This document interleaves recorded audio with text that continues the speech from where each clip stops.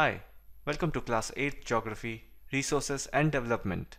Chapter 1 Resources. So what is the meaning of resources? Anything that can be used to satisfy a need is a resource. So this sentence over here speaks a lot about this chapter. There are almost unlimited examples on this planet Earth that can be covered behind this sentence. Let's go through some basic examples. The water you drink for thirsty, you know, that's a resource. Water is a resource. And then electricity that we use in a house, it is a resource. And again, the way we use transportation, rickshaw, to get home from school or anywhere, that is again a resource. So this is all that we are going to study in this chapter. Water, electricity, rickshaw, vegetable and textbook have something in common. We know that they all are separate things, but what is it that is common in between all of this? So they are nothing but utility, which means we use them. We don't just keep it with ourselves, we use them. Now, how you use it, that's a whole different thing. What we are concerned about it is that we use these things. We don't just keep it in stock. Therefore, utility or usability is what makes an object or a substance a resource. I hope this line is absolutely clear.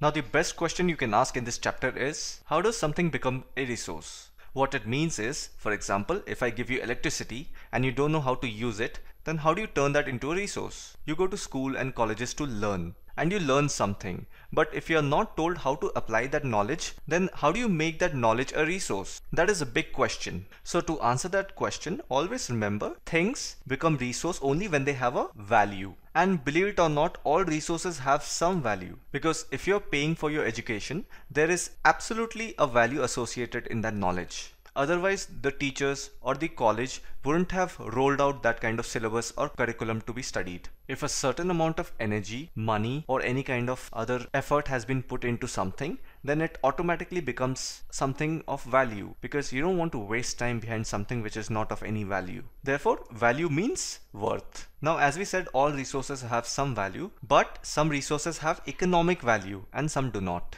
The meaning of economic value is if it is useful to a country's economy, GDP. Because if you're not productive and not part of that big chain of making and circulating money, then you are not adding any economic value to the country. So when you work, you pay taxes you use that money to buy things and feed yourself. So all the money that is going out from your salary, that is adding to the economic value of the country. And on the other hand, if you're not working, if you're unemployed, then you cannot earn money, you cannot spend money. Therefore, you are not of any economic value. So this was a high-end example from myself. Let's take a little smaller example. For example, metals may have an economic value, but beautiful landscape may not. So metals, iron, aluminium, nickel, they have economic value. You don't get it for free. And the reason you don't get it for free is because you use these metals to make important things like machinery, like buildings, like pillars, cars, household stuff. And on the other hand, when you go out to see a beautiful mountain or a landscape,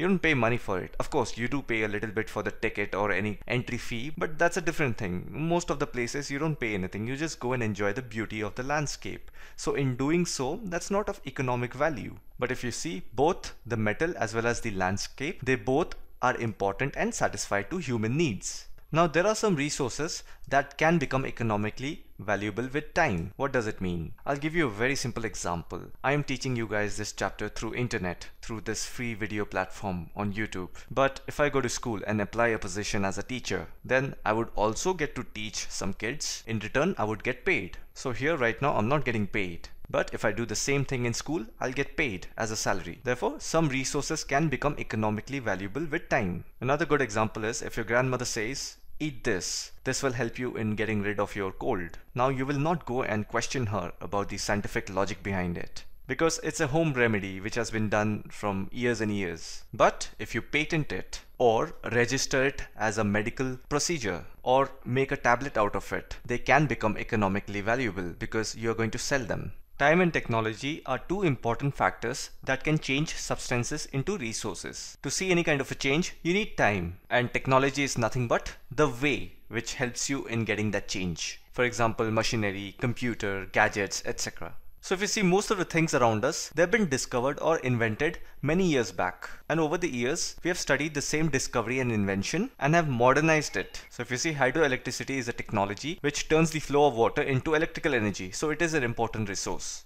So resources are generally divided into natural, human made and human. So don't get confused between human made and human because human is we ourselves and human made is the things that we have made and nature is natural.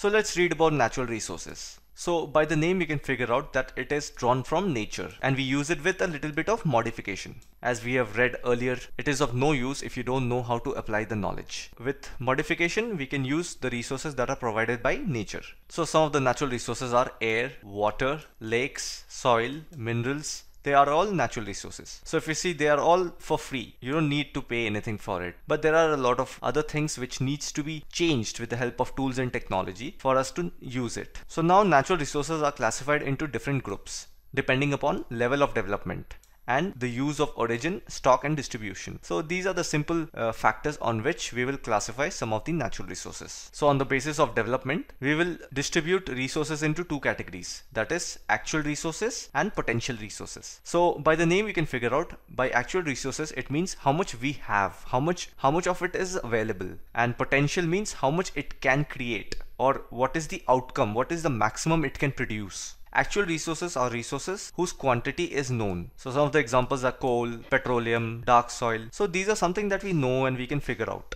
And on the other hand, potential resources are those whose entire quantity may not be known, but these are not being used at present. So one of the reasons they are called potential resources is because we don't have the advanced technology to use a particular resource in its full-fledged manner. There are still a lot of things that need to be discovered, reused, but we just don't have the infrastructure at this point. So now from origin perspective, resources can be divided into two categories, abiotic and biotic. It's simple, just remember abiotic means non-living things and biotic means living things. So just an additional A which means non-living things like soils, rock and minerals they all fall under abiotic but plants and animal they all fall under biotic resources further natural resources can be broadly categorized into renewable and non-renewable resources i guess you know all about this renewable means which can be renewed again and again and non-renewable is the opposite of it so they can be renewed or replenished quickly. So some of the examples are solar and wind energy. On the other hand, non-renewable resources are the ones which are limited in stock. Yeah, once it's over, it may take thousands of years to be renewed.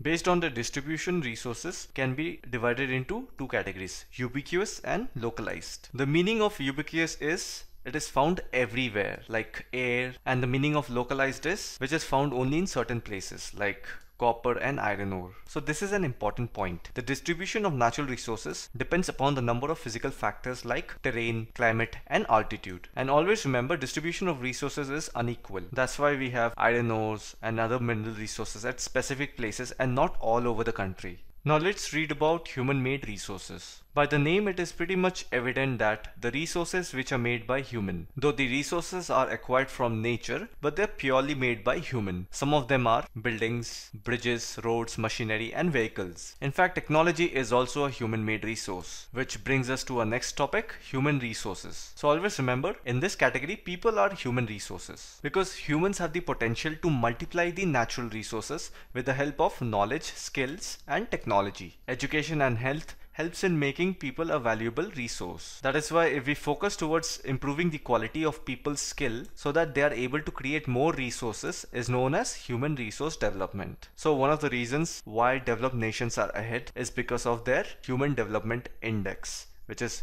pretty much high because their quality of skills that is given to people is much higher than other countries. Or in other words we say they have a lot of opportunities to grow in life. After reading various types of resources, let's move on to conserving resources. How to protect resources and conserve them for our future. So using resources carefully and giving them time to get renewed is called resource conservation and then balancing the need to use resources and also conserve them for future is called sustainable development. So if you see sustainable development is dependent on resource conservation because you need to first preserve the resources and then only you can use it for future purposes. So some of the ways of conserving resources are recycling and reusing things. So in order to protect our environment, some of our duties are use renewable resources which are sustainable. We also need to conserve the diversity of life, that is protect the endangered species. We also need to cause minimal damage to the natural environment system, less cutting of trees, we need to preserve soil erosion as well.